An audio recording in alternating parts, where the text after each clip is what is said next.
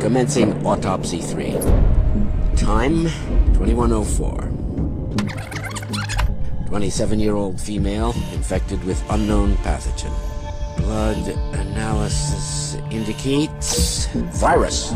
Provisional name is PAX-12. Deceased had traveled in China before returning home two weeks ago. That must have been pre-quarantine. Unknown if had contact with livestock, but I can definitely see evidence of insect bites. Deceased had reported coughing and sneezing with a high fever. I'm seeing a nasty rash, some abscesses around the abdominal cavity. Clear signs of immune suppression. Cause of death appears to be catastrophic organ failure. Findings match reports coming out of China. This is highly concerning. The deceased may still be infectious.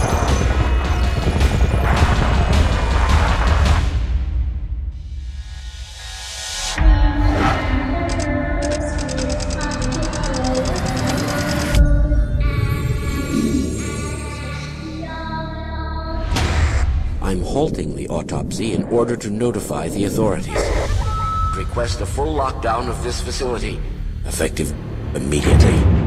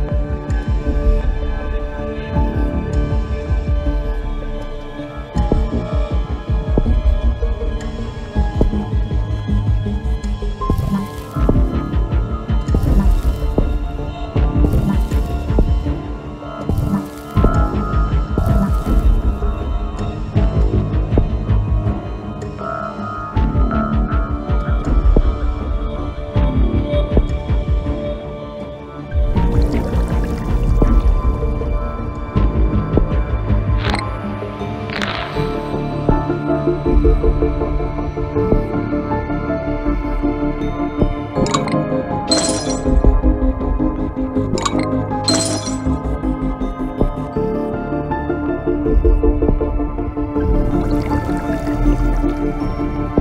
you.